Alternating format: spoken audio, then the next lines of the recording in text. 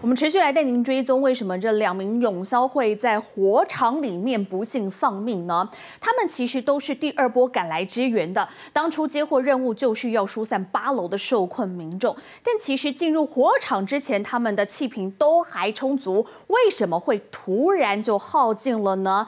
以及在他们发出求救讯号之后，是短短只有十分钟的救援时间，为什么同仁救援他们必须要耗费四十分钟呢？消防队是不是有掌握这两个人的搜索动线，以及氧气瓶的时间管控？这些全都会是调查重点。场外的地面摆着的消防衣全被熏黑，消防面罩更布满厚厚的黑色焦油。左胸前挂着的名牌，就知道这是两名殉职消防人员的衣服。每道痕迹都是英勇的证明，但又有谁可以想象他们在里头该有多无助？他只喊了一声 mad 之后，就失去所有的信息。晚间十二点十五分，李永珍、周立新在火场里发出求救讯号，什么都来不及说，就断了联系。消防队只能一一清查。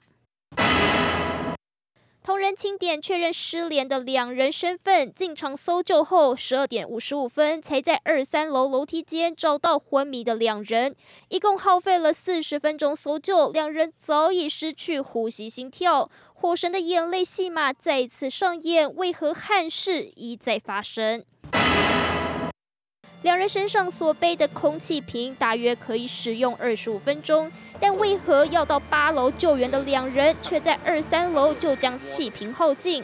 另外，保命装备、个人安全警报器也没有响，直到两人喊出 “Mayday”，同仁才知道有人受困。种种疑点全都成为调查重点。大楼它完全没有任何的一个紧急升降机可以做，所以同仁他是背着气瓶爬楼梯上去。八楼的气瓶的一个消耗的一个速度，可能会比我们以往背的速度更快。呼吸速度不同，导致气瓶消耗速度也不同。浓烟过大，空间迷航，两人在气瓶快耗尽时呼救，但还来不及等到救援，就双双拔下面罩殉职。不止装备安全受质疑，是否消防队对大楼空间还没掌握就派出人力进场救援？相关责任因为折损的两条宝贵性命，后续减掉还得进一步调查厘清。记者李佩婵、严日龙新竹报道。